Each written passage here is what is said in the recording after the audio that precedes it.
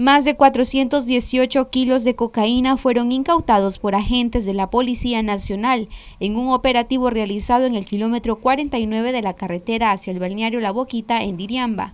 Según informaron, la droga estaba oculta en el microbús, el cual abandonaron sus ocupantes. El conductor supuestamente desatendió una señal de alto y logró darse a la fuga.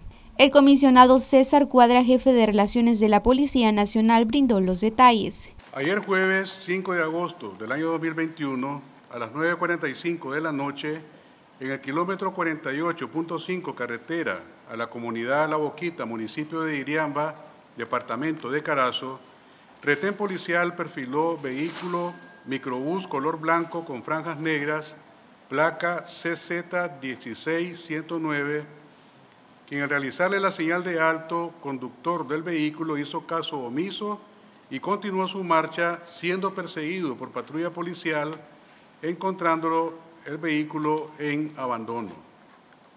En inspección realizada, se detectó compartimento en el piso del vehículo, extrayendo la cantidad de 350 paquetes de forma rectangular envueltos en cinta adhesiva, con sustancia color blanco, prueba de campo dio positivo a cocaína con un peso de 418 kilos con 339 gramos de la sustancia anteriormente mencionada.